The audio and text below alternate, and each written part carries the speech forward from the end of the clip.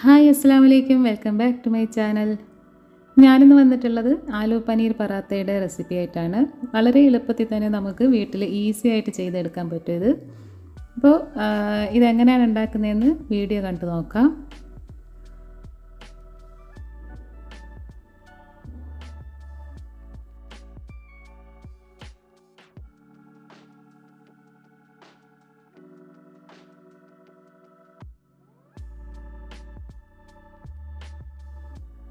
അപ്പോൾ ഇതിനു വേണ്ടി ആദ്യം പനീറിന്റെ ഒരു സ്റ്റഫിങ് തയ്യാറാക്കാം. അതിനുവേണ്ടി ഒരു മിക്സിയുടെ ജാറിലേക്ക് ഒരു പച്ചമുളക് കുറച്ച് മല്ലിയില പിന്നെ ഒരു നൂറ് ഗ്രാം പനീർ ഞാനിവിടെ ഗ്രേറ്റ് ചെയ്ത് വെച്ചിട്ടുണ്ട്. അതും കൂടി ചേർത്ത് ജസ്റ്റ് ഒന്ന് ക്രഷ് ചെയ്തെടുക്കണം.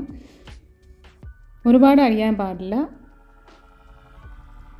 അപ്പോൾ മല്ലിയിലയും പച്ചമുളകും അടിച്ചിട്ട് രണ്ടാമത് ഇത് കൈ കൊണ്ട് മിക്സ് ചെയ്താലും മതി.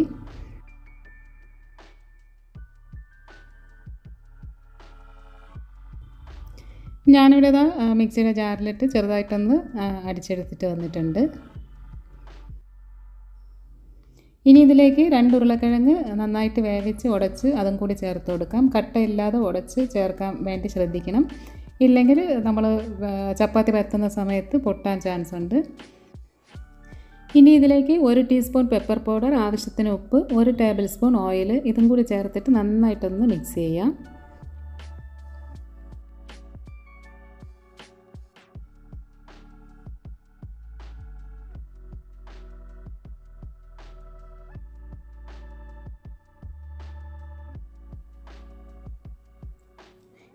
നാരങ്ങയുടെ വലിപ്പത്തിലുള്ള ബോൾസുകളാക്കി നമുക്ക് വയ്ക്കാം.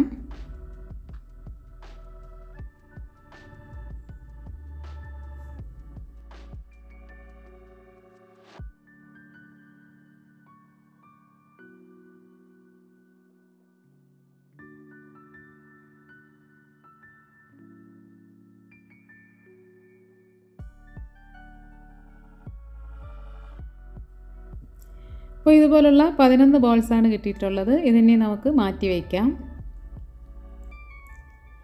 ഇനി ഒരു ബൗളിലേക്ക് രണ്ട് കപ്പ് ഗോതമ്പ് മാവ് എടുത്തിട്ടുണ്ട്. അതിലേക്ക് ആവശ്യത്തിനുള്ള ഉപ്പ് ഉപ്പിട്ട് കൊടുക്കാം. അതിനുശേഷം നോർമൽ വാട്ടർ ഒഴിച്ച് തന്നെ നമുക്കിത് നന്നായിട്ടൊന്ന് കുഴച്ചെടുക്കണം. നല്ല സോഫ്റ്റായിട്ട് കുഴച്ചെടുക്കണം.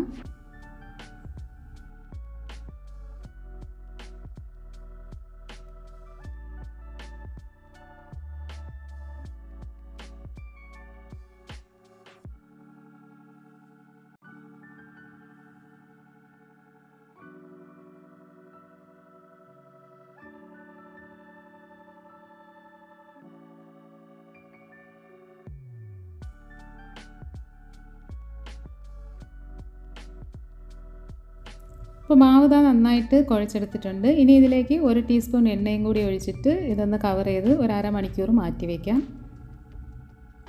അരമണിക്കൂറിന് ശേഷം ഇതെടുത്തിട്ട് ഒരു പതിനൊന്ന് ബോൾസ് ആക്കാം. നമ്മുടെ പനീർ സ്റ്റഫിങ് പതിനൊന്ന് ബോൾസ് ഉണ്ടായിരുന്നല്ലോ. അപ്പോൾ അതേ അതേ അളവിന് ഇതിനെയും പതിനൊന്ന് ബോൾസ് ആക്കി വയ്ക്കാം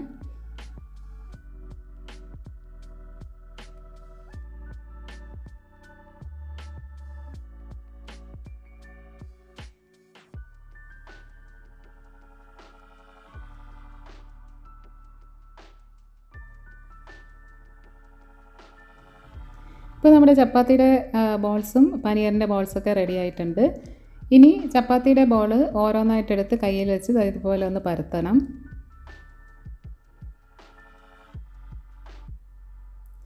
അതിനുശേഷം പനീറിന്റെ ബോൾസ് അതിനകത്താക്കി വച്ചിട്ട് ഫുള്ളൊന്ന് കവർ ചെയ്യണം.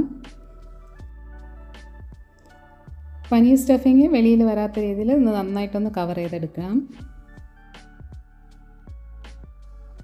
വളരെ എളുപ്പത്തിൽ തന്നെ നമുക്കിത് ചെയ്യാൻ പറ്റും.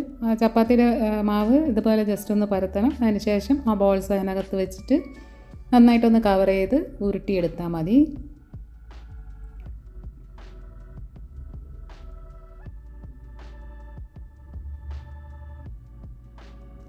ഇതുപോലെ എല്ലാ മാവും നമുക്ക് ചെയ്തെടുക്കാം.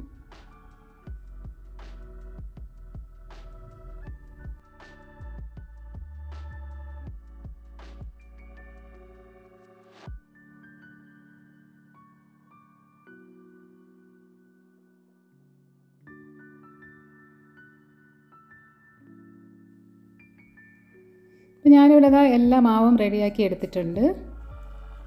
ഇനി ഇതൊന്ന് പരത്തിയെടുക്കണം അതിനുവേണ്ടി ചപ്പാത്തി പലവയിൽ ചെറുതായിട്ടൊന്ന് പൊടിമാവിട്ടതിന് ശേഷം കൈകൊണ്ട് തന്നെ നന്നായിട്ടൊന്ന് പരത്തിയെടുക്കാം കൈ കൊണ്ട് തന്നെ പരത്തിയെടുക്കാൻ പറ്റും.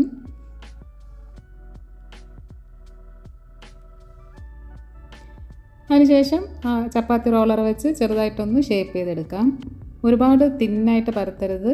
ചെറിയൊരു കട്ടിക്ക് വേണം പരത്തിയെടുക്കാൻ.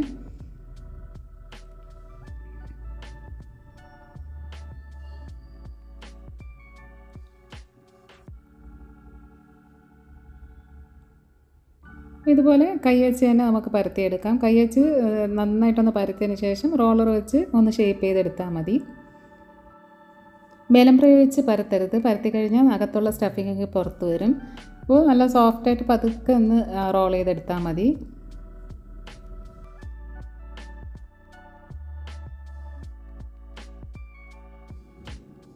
ഇതുപോലെ എല്ലാ ചപ്പാത്തിയും പരത്തിയെടുക്കാം.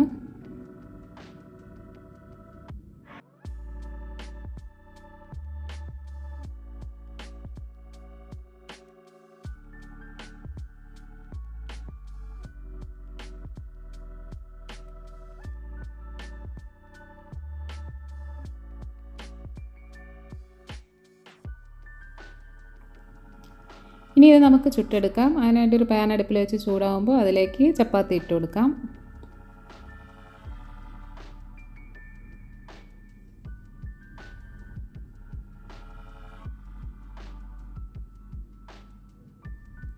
ഒരു സൈഡ് നന്നായിട്ട് വെന്തതിന് ശേഷം തിരിച്ചിട്ട് കൊടുക്കാം.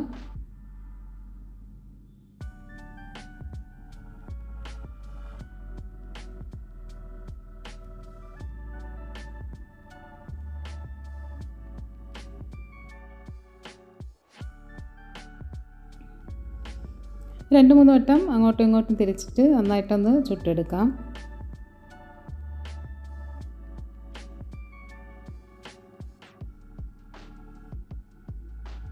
നന്നായിട്ട് വെന്ത ശേഷം അതിലേക്ക് ഒരല്പം ബട്ടർ ഇട്ട് കൊടുക്കാം.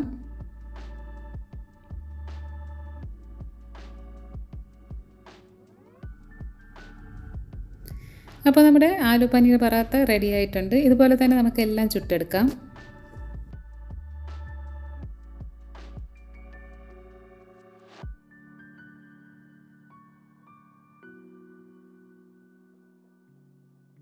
അപ്പോൾ വീട്ടിൽ തന്നെ വളരെ ഈസി ആയിട്ട് നമുക്ക് ആലു പനീർ പറാത്ത് തയ്യാറാക്കിയെടുക്കാം ഇതിന് വേറെ കറികളുടെ ആവശ്യമൊന്നുമില്ല. നല്ലൊരു റൈത്ത ഉണ്ടെങ്കിൽ അത് മാത്രം മതി. പിന്നെ മയണൈസ് അതുപോലെ സലാഡ് അതൊക്കെ ഉണ്ടെങ്കിൽ അത് വെച്ചും കഴിക്കാം. ഒന്നുമില്ലാതെ വെറുതെ കഴിക്കാനും നല്ല ടേസ്റ്റ് തന്നെയാണ്. അപ്പോൾ എല്ലാവർക്കും ഈ വീഡിയോ ഇഷ്ടമായെന്ന് കരുതുന്നു. ഇഷ്ടമായെങ്കിൽ ലൈക്ക് ചെയ്യുക ഷെയർ ചെയ്യുക സബ്സ്ക്രൈബ് ചെയ്യുക. സബ്സ്ക്രൈബ് ചെയ്യാതെ കാണുന്ന കൂട്ടുകാരുണ്ടെങ്കിൽ സബ്സ്ക്രൈബ് ചെയ്തിട്ട് കൂടെ വരുന്ന ബെല്ലൈക്കനിൽ ഓൾ എന്ന ഓപ്ഷനും കൂടി ക്ലിക്ക് ചെയ്യണം. അപ്പോഴാണ് ഞാൻ വീഡിയോസ് ഇടുമ്പോൾ നിങ്ങൾക്ക് നോട്ടിഫിക്കേഷൻ കിട്ടുന്നത്. വീണ്ടും ഇതുപോലുള്ള ഈസി റെസിപ്പിയുമായി കാണാം. താങ്ക്